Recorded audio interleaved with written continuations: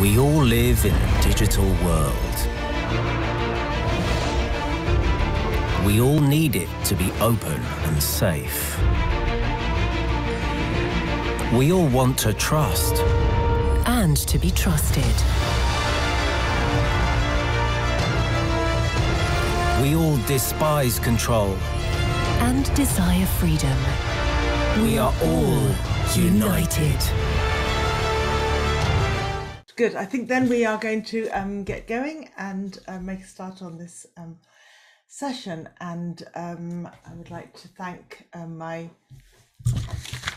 fellow panelists and um, our audience uh, for being with us here today to discuss uh, the challenge of delivering children's rights in a digital world.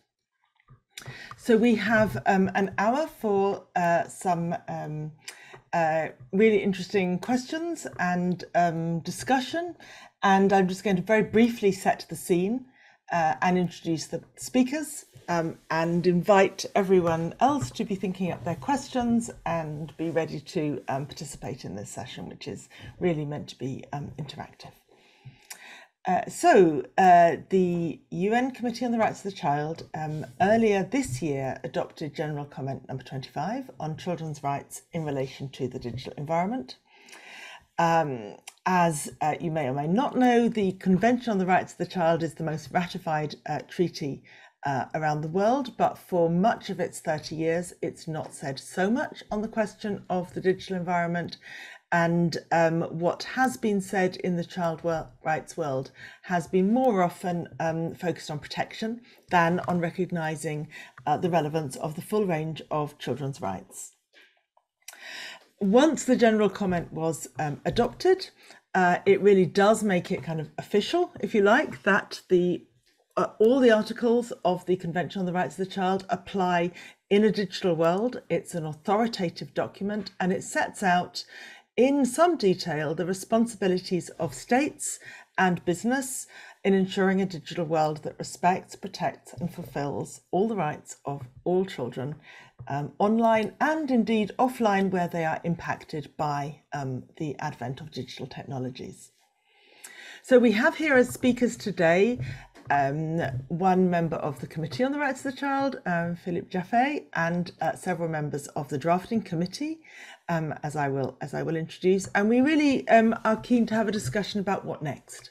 How do we take forward the work of the um, Committee on the Rights of the Child, and how do we kind of bring that thoroughly into discussion with the Internet Governance Forum and those concerned really with Internet governance globally? So we want to think about um, impact, outcomes, responsibilities, and and um, the uh, actions of many uh, stakeholders. I'm aware that we have after this session another session that's really going to focus on the general comment in relation to legislation. So I thought we would keep this conversation open and think about the responsibilities of all the different kinds of stakeholders, public, private, and third sector, and how they uh, come together. So, um, if anyone has questions about the text itself, about its guiding principles, about the practical challenges, um, this is this is the moment to um, think about them. So let me introduce uh, speakers. Um, we're going to first hear from uh, Philippe Jaffe, who is a full professor at the University of Geneva in Switzerland, um, founding former founding uh, former director of its Centre of Children's Rights Studies, and in 2018 he was elected to the UN Committee on the Rights of the Child. He's originally a clinical and forensic psychologist, um, and for many years his academic and professional activities have focused on children's rights uh, and child protection.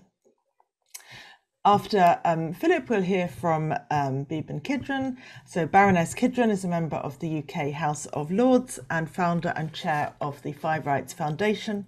She is a thought leader um, wherever children interact with the digital world, including innovating in relation to data protection, age assurance, and artificial intelligence.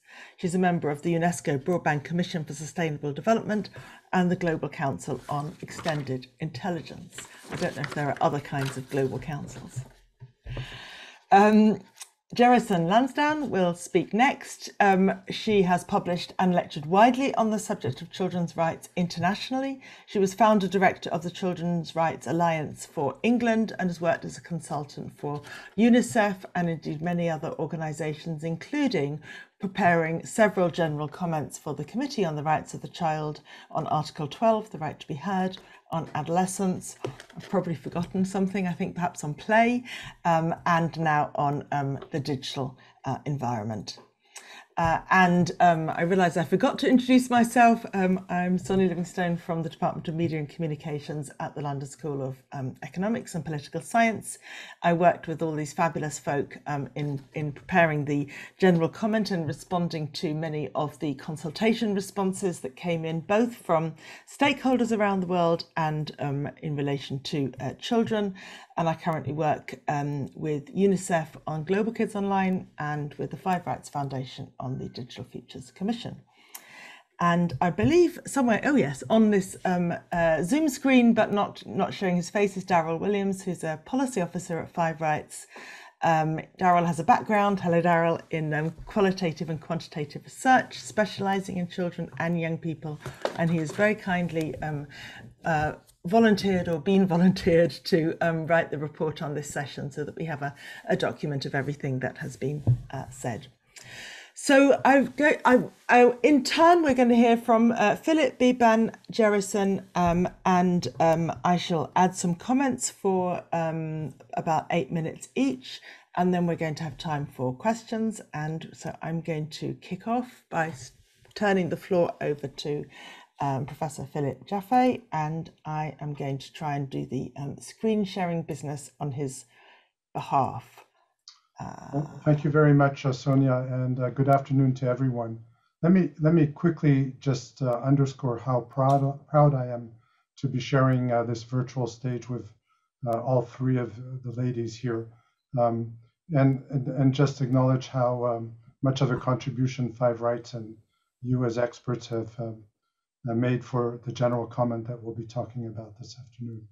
So I will provide a very general overview of the significance, the process, and the content of the general comment. Uh, but first, to be clear, uh, the rights of children in the digital environment have been on the radar of a lot of people uh, for a very long time and, and for the Committee on the Rights of the Child um, as well, um, at least since uh, 2012, more or less and especially since 2014 when we held a general day of discussion on the topic at the UN in Geneva. And as uh, years ticked by, uh, it became uh, very urgent. Um, you can go to the next slide. That the committee proposed uh, guidance on this important topic, given that as far as children's rights are concerned, um, the digital environment was, and perhaps you'll probably agree, it still is the wild far west in need of regulation. The general comment is not a small deal. It's a document that provides robust guidance to 196 governments. And many of you are familiar with the UN Convention on the Rights of the Child and that it is a, a binding document. But uh, since 1989, not a comma has changed. So every general comment is proof um, that the convention is alive and kicking. It's uh, it signals how the committee asks uh, government, civil society, and all stakeholders to uh, interpret a specific right. With General Comment 25, the committee entered a whole new universe, the digital world, and uh, made strong recommendations uh, regarding the need to take children into account and to try to establish rules uh, for their healthy presence and um, to protect them uh, where we could. At the center um, is this challenge that children's digital rights must cover uh, children's evolving capacities in a digital universe that is changing at lightning speed, along with te technological advances that move much faster than uh, governmental regulations. So, on process, I would just like to underscore um, that uh, many, many children were um, consulted in very well designed regional consultations, and uh, just to demonstrate that participation of children is not a buzzword. And obviously, there were many consultations, and uh, Sonia referred to this, um, with um, uh, civil society stakeholders, and obviously uh, governments, uh, so-called states parties. Let me move on to content, um, and you can go to the next slide. If you have not read the general comment, it's a 20 dense uh, pages long uh, document. It contains 125 paragraph, paragraphs. And it's a comprehensive document that covers many areas and many more than we'll cover, even if all of us uh, took uh, a share of them uh, this afternoon. Um, today, I'll just highlight uh, three areas, basically. Um, but you can go to the next slide. Best interests, access, and protection and evolving capacities. I often say, and this is no surprise to my colleagues here, um, that uh, my favorite um, paragraphs are, are uh, paragraphs 12 and 13. And um, if you go to the next slide, I'll just read them out really quickly. On best interests, states parties shall, should ensure that in all actions regarding the provision, regulation, design, management, and use of the digital environment, the best interests of every child is a primary consideration. This is really important to underscore. And I'm not going to read the whole uh, paragraph uh, 13, uh, just uh, if you could uh, pay attention to what is in bold and uh, the references again to um, best interests principle, which is really, really core in the thinking of the committee. Um, access and protection, the next slide. There's a lot to say um, um, on this count, but perhaps a starting point is, is just to stress that the general comment does not fall into the trap of uh, the dominant popular narrative that the digital world is filled with dangers uh, and that the paramount concern of every adult in government should be to provide children with as much protection as possible. What the committee and its external experts try to do, I think, is rather successfully indeed, is strike a um, careful balance between protection and access. And the, the digital world must, for children, must be open for exploration, uh, learning, and leisure, and not only for children, but all children. So access, no discrimination, but many other rights that go, are, uh, go along with that respect for the freedom of thought and freedom of assembly, uh, children's privacy. Uh, of course, protection needs to be ensured, and of course, especially for younger children. Uh, so, risky and life endangering um, uh, negative uh, practices must be, uh, at the very least, monitored and to the greatest extent possible eradicated in the digital environment. Let me end with evolving capacities um, which refers to Article 5 of the Convention on the Rights of the Child, which calls on everyone to respect the uh, maturation process of children, who, uh, from a total uh, dependency uh, during infancy, grow and mature toward um, total adult autonomy. And obviously, this is particularly significant in the digital environment because uh, children are immersed uh, much more than adults in this environment. And almost from the start, they uh, de demonstrate higher proficiency levels than their grown up uh, care caregivers. And I can testify to that. My nine year old son uh, refers to me as a Neanderthal in terms of digital skills. Um, but careful, you know, evolving capacities is a complex notion that's intertwined with uh, psychological, social, and uh, neurocerebral development. There are moments during developmental phases um, during when we know, in fact, science knows that the safe and sound evolving capacities of children depend very heavily on having in-person physical and even skin contact with other uh, human beings. And in this sense, I, I, just want to maybe paradoxically under, underline that young children should be protected from screens um, to a large extent when they take when when screens take them away from crucial phases of social development. And at the same time, it must be recognized again in this general argument on, on evolving capacities that uh, for adolescents, uh, their digital presence sometimes counts much more than their physical interactions. And this to some extent needs to be uh, respected by uh, adults. Now, I, I, I, know time is short, so let me end with um, perhaps a little bit of uh, cosmic poetry. Um, the, the pace of innovation in the digital world is just amazing, but it's uh, also well matched by this maturation process uh, in children, especially uh, during neurocerebral spurts in early childhood, but, but also later on when children outgrow their pants at record speed. And, and the same and at the same time, the technology with, with which they cohabitate is ever more ubiqu- ubiquitous and more interactive. And, and so let me assert that in, in many ways, the, the digital environment environment is at its core a children's environment, even though it was only conceived for adults um, by adults. But I, I want to make this argument.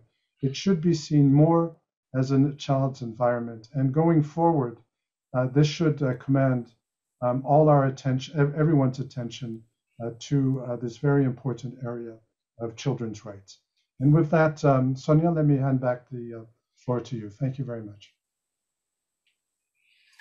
Brilliant. Thank you, um, Philippe. You've left me um, contemplating my mortality now as um, our generation um, gives way to uh, today's children who will indeed inherit the internet and the wider digital world, whatever whatever that may bring. So um, yes, it's really crucial that we we get this right.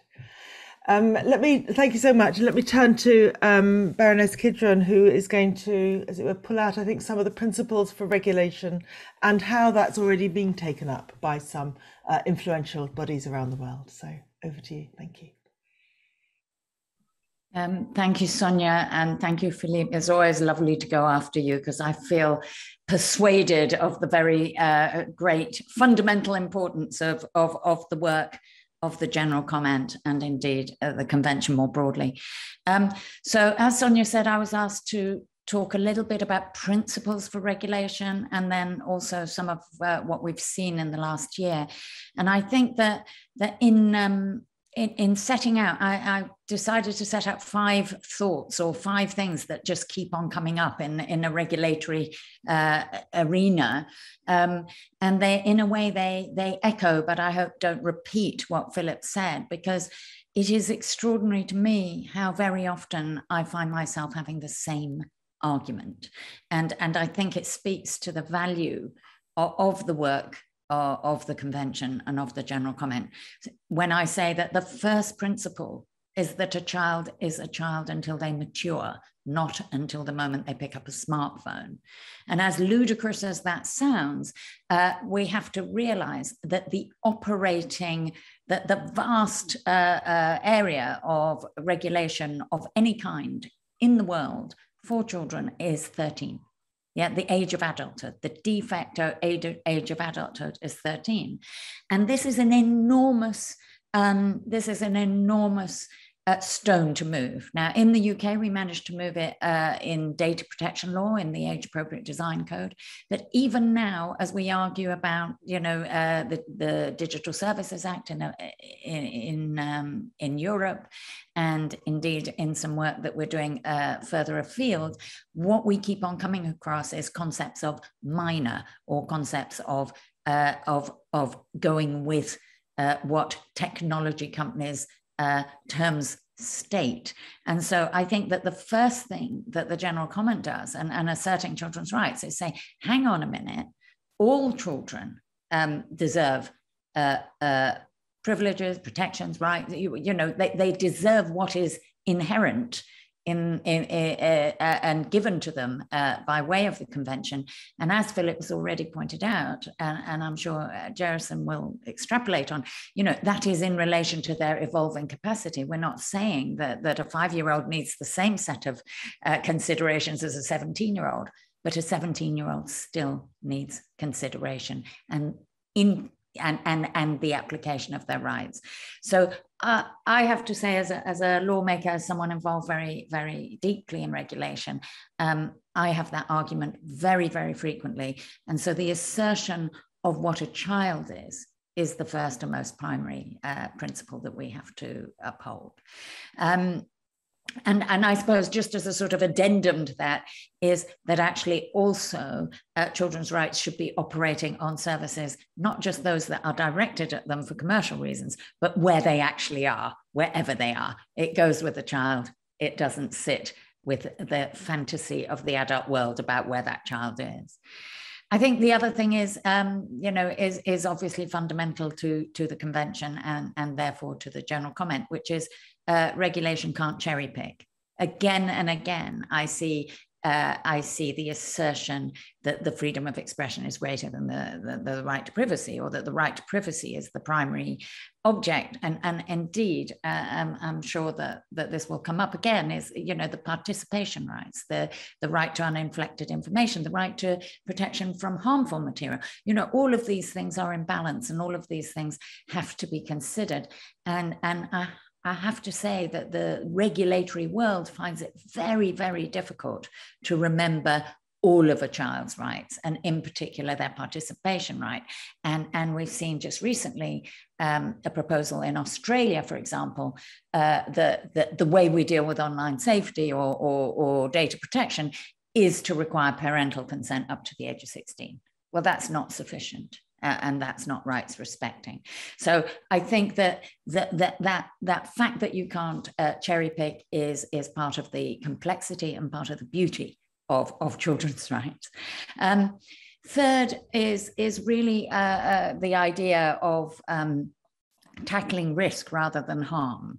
I think we've been through a, a, decade of arguing about what are the harms of the digital world, and, and some of them are really obvious, you know, and, and, and easy to see um, in terms of, you know, outcomes, uh, you know, of over over access to pornography or, or being grooming or CS, CSEA or, um, you know, or sort of addictive techniques and so on and so forth.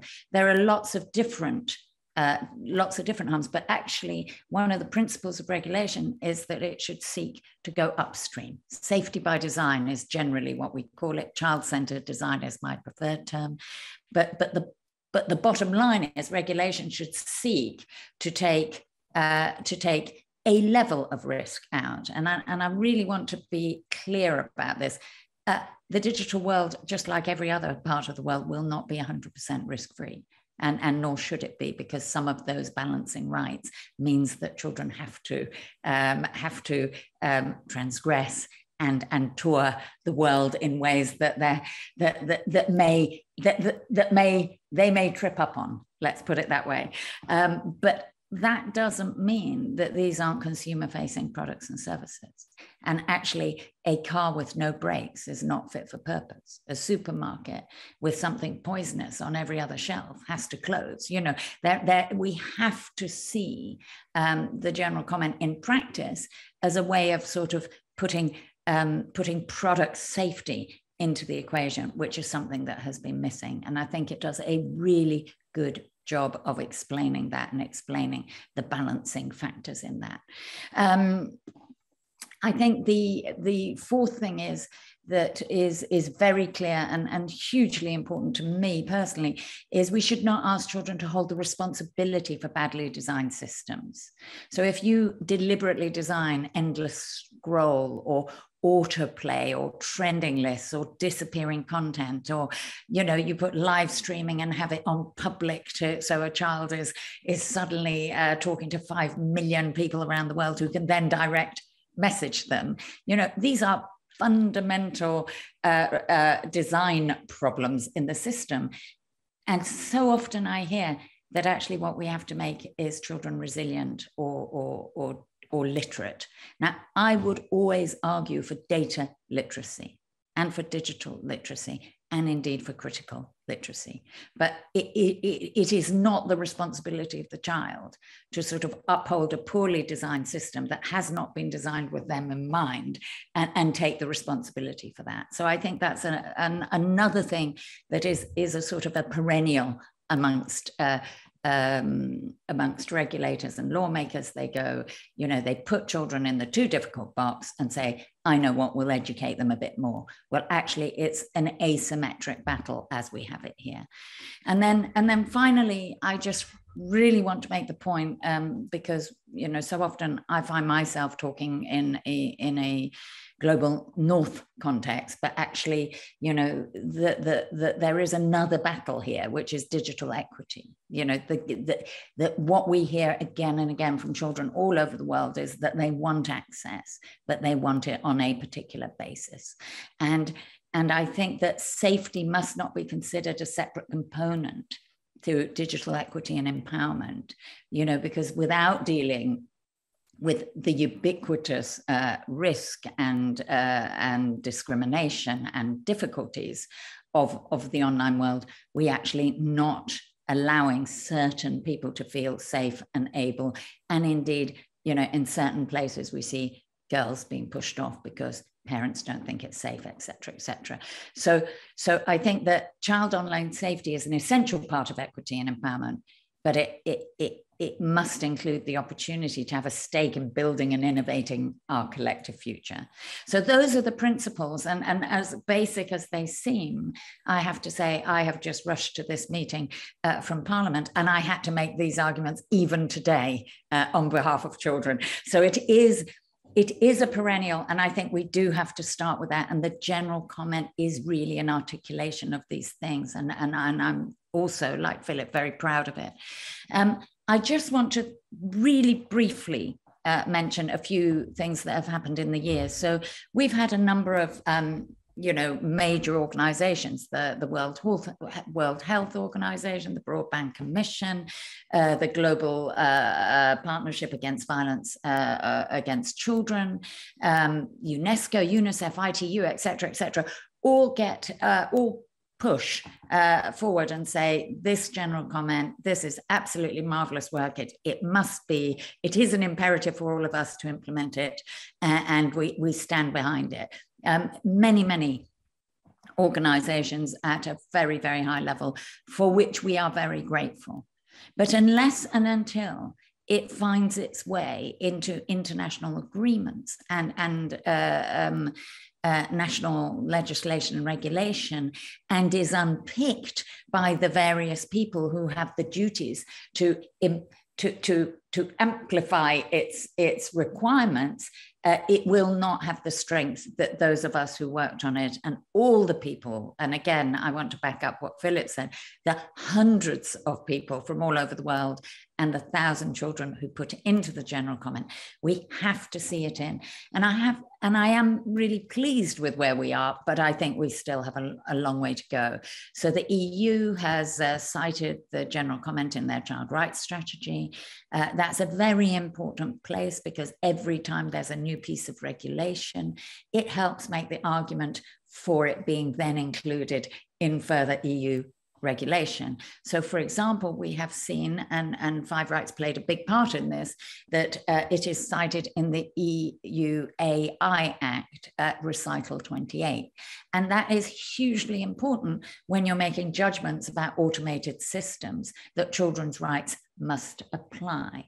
Uh, we saw in the OECD recommendation on the children in the digital environment in the data privacy regulations. And again, when you look at the notes that go together with those recommendations, you start to see how the general comment has articulated children's participation rights as well as their data protection rights. And again, that balancing act has been hugely important. Um, uh, it is uh, going to be a recommendation uh, of, of, the, of inclusion for the online safety bill here in the UK, uh, which is a really landmark piece of uh, legislation that we're expecting uh, to go through Parliament next year. Currently, it's in there. And it is also on an amendment to the Digital Services Act in the EU.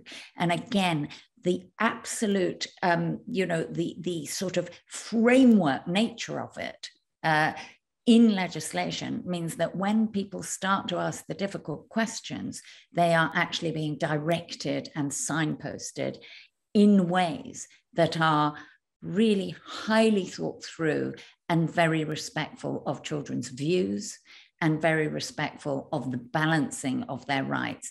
Because I think my fear is that without taking the general comment in its entirety, that we're going to see some very, very um, uh, uh, sort of blunt regulation that may have the effect of keeping children out of the digital world instead of designing the digital world for their presence.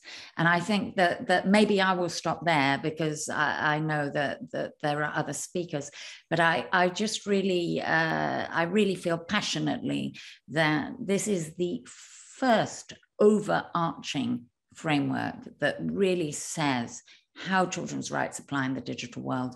And I think the more that it can be copied and spread and cited, uh, the greater its impact will finally be. Thank you. Thank you, Beeban. And um, uh, I think it is um, absolutely inspiring to see how, how the um, general comment is being taken up. There is so much work um, more to do. Um, and we very much hope those at the IGF are, are, are going to kind of take this message. Uh, as you said, one of the one of the key messages that we wanted to kind of put into the drafting of the general comment was, while there are many things uh, to be done, we don't want to responsibilize the child. We want to kind of call on all of those in the society who are who are responsible. And people often talk about states and business. Um, I, we also uh, very much want to kind of appeal to those who are already child rights advocates, um, NGOs working in the third sector, who have sometimes felt technologies a bit difficult or or too complex, or so. So the general comment is also written to to to reach out to them. And uh, I want to call on um, Gerison Lansdown to say some words about how um, those organisations and um, civil society um, child rights defenders might kind of work with the general comment and really what you've seen, Jerison, of, of how other general comments do become a kind of rallying cry for, for action and improvement. So over to you. Thank you. Um, and you're muted, but um, you can. Um, Sorry. Um, so Philippe talked about the sort of substance um, of, of, the general comment, and Beeban talked about the principles. So I want to talk a bit more about process.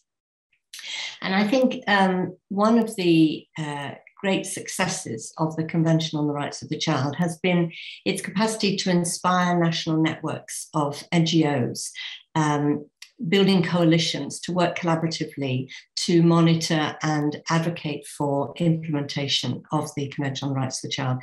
And over the 30 years of the Convention, there's been a lot of lesson learning about how to do that effectively, what works, why it works, because it's never enough, as, as Beeban has said, it's never enough just to have the general comment itself, its recommendations, uh, and its guidance. It's an important, hugely important first step. But we now need to proactively advocate for those recommendations to be translated into concrete action, um, certainly at the national level as well as the international level. And NGOs have a really important role to play in making that happen. They can, they can play an important role in challenging and changing opinions, uh, in promoting um, and reaching out to politicians to get political commitment uh, for implementation. Uh, they can help translate the recommendations into concrete proposals for the national level. Uh, they can make the issues much more visible um, very importantly, they can work collaboratively with children to enable children's voices to be brought to the table directly with politicians who are enacting legislation and policies. And in so doing, what that does is strengthen government accountability on the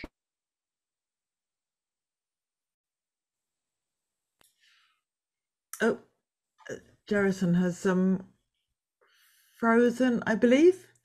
It's never quite clear whether it's oh, maybe she will um, reappear in commitments that they've made. So, can you hear me? Um, you, you you disappeared briefly, but you're back. Yes. Okay. Okay. Don't know what that was. Um, so there are there are um, seven steps I wanted to point up to in relation to um, an effective advocacy strategy. So um, the first thing is is as as Sonia and Philippe and Beeban have suggested, the, the rights are indivisible, um, that you can't protect one right without thinking about other rights. Um, so, so you need to think in this but the, but the but the text of the of the general comment is very broad. It touches on a huge number of children's rights. So one of the things you need to think about in, in undertaking your advocacy is where is the entry point? Where do you want to enter into your advocacy strategy? Do you want to focus specifically to start with on privacy, on data collection, on um, education and digital rights in schools and access?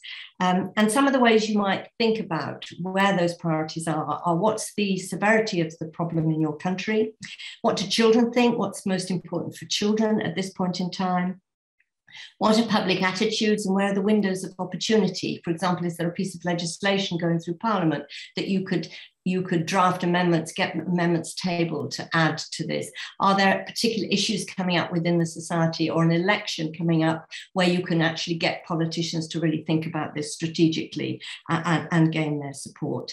Um, the second step is to think about where's the evidence base. So obviously, um, you need evidence that there's a problem that needs changing. Now, clearly, you've got the, the text of the of the Convention on Rights of the Child itself, and you've got the um, the strong recommendations and guidance contained in the general comment. And so those provide you a very starting good starting point of the evidence of what's needed. Uh, but you also need children's perspectives as part of the evidence. You need, maybe you need quantitative and qualitative evidence of the scale of an issue and concern. Um, you might want to look at um, where the gaps are in the existing legislation and its inadequacies and its failure to comply with the standards set out in the general comment. You might want evidence on the scale of the problem as it is expressed in a particular country. Um, or maybe you want to undertake um, an investment investment in, in commissioning um, research or surveys in order to get further evidence of a problem, in order to strengthen your case for implementation. And then the third step is to form, is really to frame the goals carefully.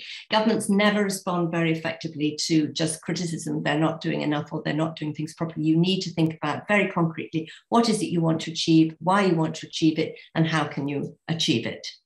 And then a really important fourth step is the, the role of stakeholders. Who are the stakeholders? And it's really valuable in, uh, for NGOs to think really imaginatively about who can they bring on as allies to strengthen their case, because different stakeholders will bring in different skills, They'll do, bring in different points of access and networks, um, additional resources, additional expertise, and, and, and raise the, the, the volume of the voice, putting pressure on government to achieve change. So different stakeholders, obviously children, I can't reiterate there enough, they are a key partner in all of this, but parents' organizations, policymakers, academics, the media, maybe even trade unions, professional bodies working with children, unions, professional bodies of teachers, of, of health professionals, of lawyers, and so on and so forth. Then the fifth step is how to get your messages heard and who do you want to influence. So you need to formulate the message really carefully and think about um, uh, where are the resistances and how are you going to address those resistances? So, in the context of the digital environment, we know there are huge tensions, for example, between um, uh, lobbies who are pressing for much greater commitment to privacy and freedom of expression, um, and that some of those will challenge any efforts to strengthen the protective environment of children. So think about who are the who are the people who are going to be arguing against you. How do you frame your arguments with them? How do you engage with them in order to strengthen your position? And then the sixth step is thinking about well, how are we going to how, how are we going to take action to move this forward? Is it is it is the is main problem to raise awareness? To lobby and negotiate with politicians, uh, build support, organize conferences, social mobilization, strategic litigation in countries where the Convention on the Rights of the Child is incorporated into domestic law. You can think about taking a case where the government is failing to act or, or is actually violating children's rights in relation to the digital environment to take uh, to undertake strategic litigation. And there is an interesting development. I don't know if, if um, Philippe would agree with me here, but um, at the international level, the Convention on the Rights of the Child has an optional protocol on a communications procedure. And recently, there were um, 16 children uh, from 12 countries around the world who presented a climate related petition to the Committee on the Rights of the Child, um, wanting um, to arguing that the, that there that five states uh, had failed to act to protect them from violations of their rights in the context of the climate emergency. They constituted this was a violation. Um, and so the committee considered this, and whilst they rejected the petition for, for, for uh, I won't go into it, but for technical reasons, they did recognize that it was admissible for the children to bring a case uh, concerning harm which was outside their own territory um, and can therefore be held, the state can therefore be held responsible for negative impacts of, in this case, carbon emissions um, on the rights of children inside and outside its territory. So I think it's interesting because there are some comparables, it seems to me, in the digital environment, because the digital environment operates both inside and outside children, the territory in which the child is living. So it seems to me, and I don't know whether you'd agree, but that, that there's a principle established there uh, which could be reflected and, and utilized to the advantage of children. Uh, so thinking about um, uh, taking further a further um, uh, um, claim to the committee in relation to the violation of rights in the digital environment might be something to be thinking about. And then finally, in all of this, it's really important to monitor and evaluate, to think about as you're going through what strategies are working, what's not working, why is it working, why are things effective, and then review and, and reflect and, and, and use those findings to then strengthen advocacy and go forward with renewed energy and vigor to achieve the goals that we're all seeking to achieve. Thank you. Brilliant. Thank you very much, um.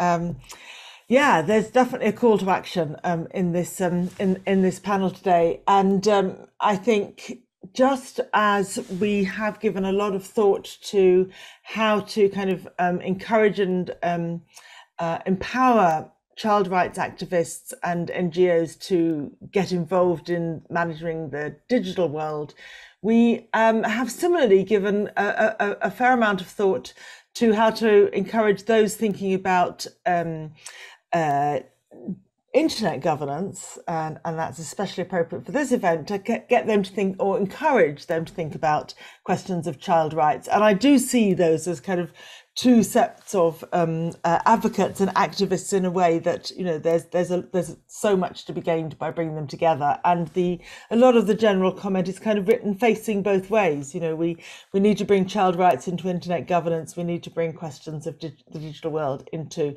debates about child rights um, not not to be too too binary about it. And I thought I might just make a few remarks now about um, the, some of the dilemmas of drafting. I'm an academic, so I'm always happy with kind of dilemmas and uh, knotty problems. Uh, some of my colleagues are, are um, better at thinking up solutions. Um, but I think for those um, who uh, uh really focus on questions of internet governance and regulation, um, it, it will be apparent that there were some kind of tensions and dilemmas in, in drafting this kind of I think, brilliant 10,000 word um, document. And one, one is the challenge of future proofing it, of, of, of, trying to not write a document that will be out of date in um, just a few months' time when the latest digital innovation comes in. Um, and that's why it's been so important to um, those presenting today to really kind of emphasize the principles and to really uh, be clear that whatever the particular um, innovation, um, we, we, we, we do need to focus on what those, those principles are. Um, I think another, and perhaps this is a kind of subtext of a lot of those talking about children's rights at the IGF, has been to kind of write against the um, vision, perhaps myth, that somehow the internet um, is the rightful place of adults and children are, are, sort of interlopers and something of a nuisance within that within that space. Um, and really, um, so it is written to say children are here in the world. They are one in three of the world's internet users. They um, absolutely have the same rights as everyone else to um, to have their rights um, respected and protected in a digital world. And that formulation very much kind of recognizes the impossibility possibility now of pulling apart um, digital and um, whatever, I'm knocking my table, real world. Um, and and that means that we've had to give some uh, thought also to the question of you know how what are the different ways in which children are engaged with with with the internet? It, and and sometimes people hear us as talking about children just as users and we are talking about children as users of digital products and services and networks. But we're also talking about children as impacted by um, the digital world in ways that matter um, perhaps even if they never use it, even if they don't have access, even if they live in a country too poor to provide um, connectivity and, and access, they may still be um, impacted both by the wealthier world embracing the digital technologies and investing in it, and in the ways in which they their lives are datafied and kind of managed by um, digital processes of um, bureaucracy and commerce even if they themselves never get the the, the, the tool in their in their hands. Um, so you know there. And, and then perhaps one one more dilemma very much um, on the agenda, I think, in relation to the question of evolving capacities that um, uh, uh, Philip spoke about. We we absolutely know that um, in the in the in the history of the world, um, society has treated children according to their evolving capacities. We've always treated babies differently from children and toddlers differently from teenagers and so forth. But the digital world struggles with that because it professes not to know who is a child. And I think we have the digital comment, the, the general comment has come out at this very interesting moment when it is kind of clear that digital providers know an awful lot about everyone who is using and impacted by their services. Um, and it is kind of now time to uh, use that knowledge to treat children according to their ev- uh, um, evolving capacities. But no doubt that that is contentious. There are a lot of debates on at the moment about age verification and age assurance. I think it has finally become apparent to those engaged in internet governance that to treat children as children also means to know who is a child and who is an adult much more generally. And there's no question this is raising some thorny issues of implementation around questions of, of privacy. So we do again kind of have that sense of child versus adult rights and freedoms. And I would just reiterate that the general comment is written very carefully not to create that kind of polarization, to find solutions, to find ways of, of kind of thinking and taking um, taking uh, internet governance forward in a way that can be child rights respecting.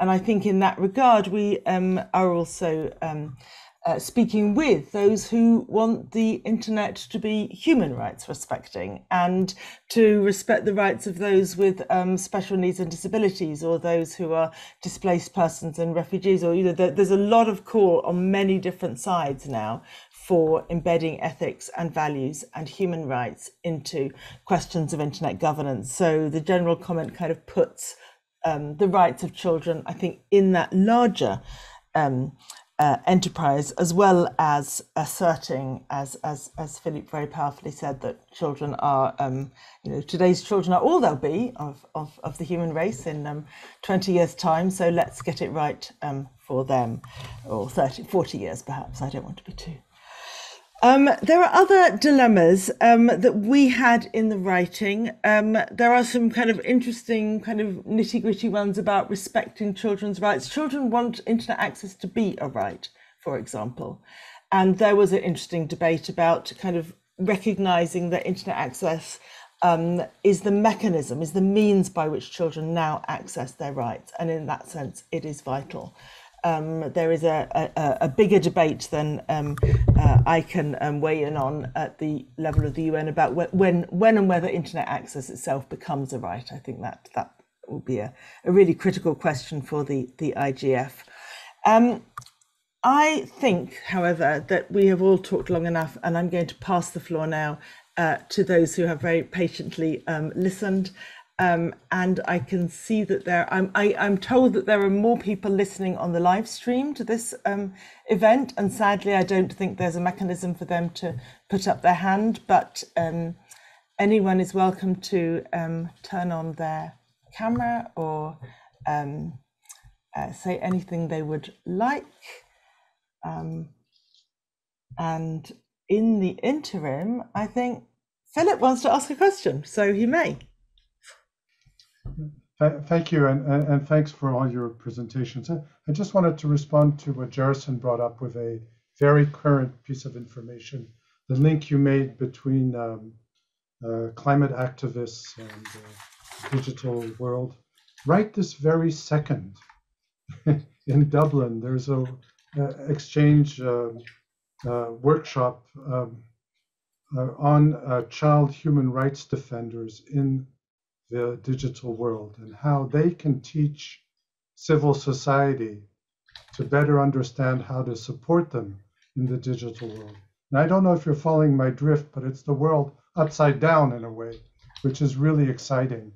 Um, so yes, climate activists, child human rights defenders, the digital world, I think they're inextric inextricably uh, linked. Thank you. Yes. Actually, that reminds me, while I wait for someone to put up their hand, uh, that one of the other kind of tensions through the drafting process and all the discussions held around the, the general comment, as I think somebody already commented, is that kind of um, the importance of recognizing children themselves as um, civic and political actors, as um, on occasion human rights defenders. It's not a world of child protection versus kind of adult freedoms of expression. It is absolutely a world in which children's um, freedoms of expressions and civic and political actions um, must have um, space to, must have the opportunity to express themselves online as well as in other in other fora.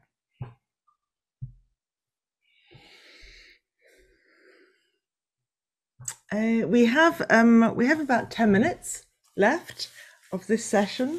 Um, again, if I can, um, everyone's very folk are very welcome to put on their cameras or um, weigh in on how the issues that we've been addressing might seem in different parts of the world or those that you've been um, uh, attending. I'm hoping that there are kind of echoes of this conversation in other parts of the um, uh, Internet Governance Forum. I know that Beeban Kidron had to go literally to another session that was kind of clashing with this one uh, on uh, how to um, take the general comment forward into um, legislation. Um, but other thoughts? Maybe I can ask Philip or Gerison, Philip perhaps, to um, say something about concluding observations, about the way in which the general comment will be part of the um, Committee on the Rights of the Child's review of states' progress. Yeah, sure. Uh, very briefly, um, just so people understand, one of the um, ways the committee works is that we receive reports from state every state party, states party um, which uh, and each one um, sort of the, summarizes the progress that is made in the field of children's rights. And then once we receive the reports and uh, we assess uh, with the help of uh, civil society what is going on in a particular country, we have what is called a so-called uh, constructive dialogue with uh, this state party and um, where we exchange our views and we can make recommendations, which find their way into uh, concluding observations, which is our, the committee's view of the roadmap that the country must uh, accomplish until its next report. So the um, challenge with every general comment is how to maximize um, the um, recommendations uh, in the field that the general comment covers uh, and tailor it to the specific um, needs and capacities of the, a given country. Uh, obviously, um, the recommendations on, uh, on um, digital rights are not the same for Switzerland, which we reviewed recently, and I mentioned that because I'm speaking to you from Switzerland, then from other countries that don't come, that are not as obscenely rich as, uh, as, uh, as a first world uh, country, so-called first world country. Um, so yeah, we, we try very hard to tailor some recommendations to every country in this um, in this uh, field. It's a bit of a challenge um, with um, because uh, the, and and this I'll just end with this. there are so many children's rights and there are so many priorities to focus on. And our concluding observations also have to be um, uh, uh, written in a way that the uh, states party does not feel overwhelmed uh, by um, fantastic achievements that it must carry out. So again, uh, but the, the, the, effect of recency of the general comment really helps in terms of, of, um, of uh, including them in general in, in, the concluding observations, and obviously along with anything that has to do with uh, the climate crisis. Back to you, Sonia. I make a, add a point to that. Mm-hmm. Um, obviously, the um, the concluding observations are are addressed specifically to the to the government, to the state party. Um, but what happens when, when this examination takes place um, in Geneva, in the, in the dialogue between the committee members and the government on what they've been doing to implement the CRC? Prior to that, in very many countries around the world, there will be um, a coalition of NGOs who will have submitted what's called an alternative report to the committee. So the government do their report, and then the NGOs, human rights commissions and others will submit a separate report, which is often much, much more critical about what's actually been going on. So they come together to do that report. So they may well be uh, raising issues about failure to comply with issues around children's rights and digital environment. Once the concluding observations have been produced, there's a next stage for the NGOs work to begin. So, so although they're addressed to the government, it's really important that the NGOs working on children's rights in that country grab hold of that document and look at it in detail and look at how can we advocate effectively to get these recommend these specific recommendations targeted at our government how can we get them implemented um, so so here too there is a very critical role for ngos to to be the voice um, to, to raise awareness and not allow this document to just get filed away on a shelf and no further action taken, that they have to keep it alive um, and generate the energy to make it happen. Thank you. The call to action is loud and clear. Um, well, I think um, if Unless anyone wants to ask a question, I might now um, give everyone the chance for a quick cup of tea before the next um, session. We just have a couple of minutes. Um, but um, uh, Daryl Williams has been um, taking assiduous notes, I know, and is going to write a report um, on everything that was said, and that will go into the IGF record. And uh, I say that with great pleasure because I've been coming to the IGF um, for so long that I can recall um, when people said, children, no, they have no place here. Rights, children's rights, what are those? Um, I think actually this this um, organisation has been transformed over the last um, uh, 10 years to really kind of give space for discussions on, on children's rights in relation to the digital environment. So um, uh, thank you, Daryl. Um, thank you, uh, Jabiban in her um, absence. And thank you very much, Philip and